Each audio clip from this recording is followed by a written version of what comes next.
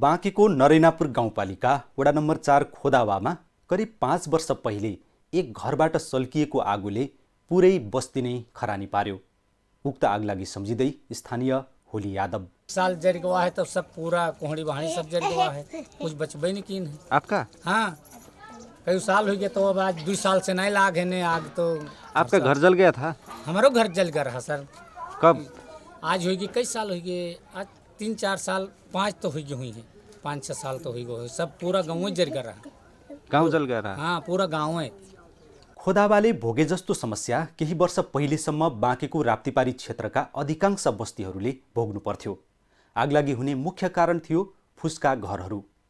प्राय पुसपछिका महिनाहरूमा आगो ताप्ने सुक्खा हावा चलिरहने हुँदा खाना पकाउँदा पकाउँदै पनि आगलागी हुने गरेको थियो। यसका साथै असावधानीका कारण पनि आगलागी हुने गरेको थियो। पुरै बस्ती नै एकअर्कासँग जोडिएका फुसका घरहरूको हुने हुँदा एक ठाउँमा आगलागी भए पुरै बस्ती नै सखाप हुने गरेको थियो। यस्तो अवस्थामा स्थानीय जनप्रतिनिधि र सामाजिक सङ्घ संस्थाहरूले जनचेतना फैलाएपछि असावधानीका कारण हुने आगलागीमा कमी आएको छ। यसका साथै घरको संरचना पनि स्तरोन्नति हुन थालेपछि त्यसमा कमी आएको स्थानीय रामबला पासवानको भनाइ छ। बहत्तरभन्दा उता प्रत्येक वर्ष आगो लाग्थ्यो। गाउँमा? कुनै वर्ष बाँकी हुँदैन थियो बगौडामा कि आगो नलाग्ने। तर यो कारणवश यो गाउँपालिका भएदेखि त मलाई लाग्छ उस्तै होला एक दुई गाउँ कसैको झले होला के भयो त्यो त्यसले? जनचेतना आयो कि? जनचेतना पनि आयो तर मान्छेले पनि व्यवस्थित गरे। अब पहिलाभन्दा यो छानाको घर थियो। त्यो कसरी गरे? आफै गरे कि? आफैले आफैले गरे त्यो फेरि भट्टा थिएन यहाँ। अहिले घर बनाउन लागेको। इटा इटा आयो। इट्टा आयो। अब घर बनिसकेपछि त आगो सल्किने भनेको चुल्हो चौकोबाट मात्रै हो। साना बच्चाले त लियो भने टटियाहरूमा लगाइदिने। त्यो हुन्थ्यो। तर त्यो पक्की घर भयो भट्ट भट्टाउन लाग्यो। त्यो अनुसारले सुविधा भयो। पहिला इन्डियाबाट सबै सबै हुन्थ्यो। अच्छा। तर अहिले पनि आगलागीको सम्भावना पूर्णतया हटिसकेको भने छैन।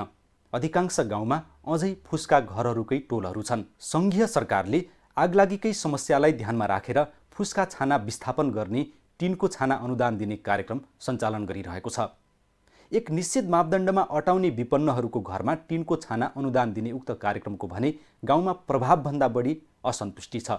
स्थानीयहरू आफूहरूभन्दा राम्रो अवस्थाको घर भएकाहरूलाई पहुँचका आधारमा अनुदान मिलेको गुनासो गर्छन् अब ये देखो टीन के बारे में यहाँ बहुत चक्कर गया हन लेकिन नहीं देत हैं आवास के अच्छा। हाँ ये फूस घर है, जी के पक्का है उसका टीन मिलत है। हाँ। आवास में नाम लिखाए थे? हाँ नाम लिखा हुआ है लेकिन कहीं तो हाँ नहीं गवा नाम हो। कब लिखाए थे नाम? अब से की जब लिखा गया है तब लिखाए आए रहे। आ, कुछ लोग को मिला कि नहीं? हाँ मिला है कुछ लोग का। जी क्या है तही का मिला है?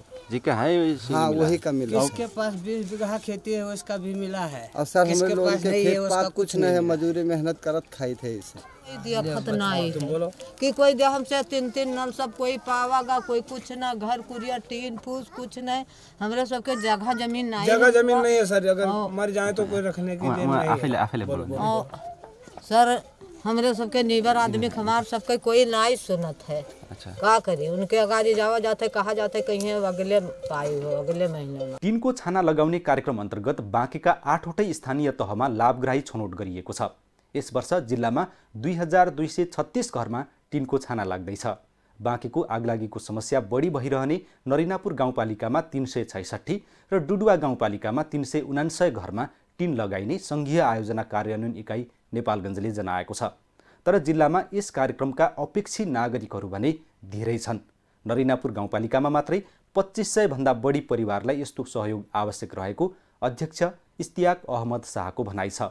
जसको तुलनामा आउने अनुदान सङ्ख्या एकदमै कम भएकोले नागरिकहरूको गुनासो देखिएको उनी बताउँछन्। सङ्ख्या बढाउनुको आवश्यकता छँदैछ फुसको घर धेरै छ यहाँ। मैले सरकारसँग अनुरोध गरेको थिएँ कि कमसेकम ढाई हजार पठाइदिनुहोस्। हामी कम्प्लिट गराइदिन्छौँ ढाई हजारको आवश्यकता छ। अब फर्स्टचोटिमा तिन सय आएको थियो। अब यो सालमा तिन सय बसठी परेको हो एक वार्डमा। उस टोटल अ, नरेनापुरमा अब तिन सय वार्डमा फेरि वार्ड वार्डमा बढ्दै एकसट्ठी एकसट्ठी आए। अब एकसट्ठी आएपछि अब जुन गरिबको घर छ त्यसलाई छनौट हुन्छ आगलागीकै समस्यालाई ध्यानमा राखेर नरिनापुर गाउँपालिकाले भने दमकल समेत खरिद गरेर अलर्टमा राखेको छ।